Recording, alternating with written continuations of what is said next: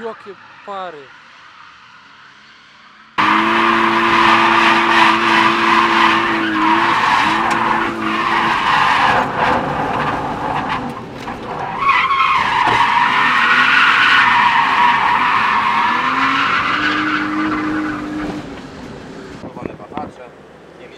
tak?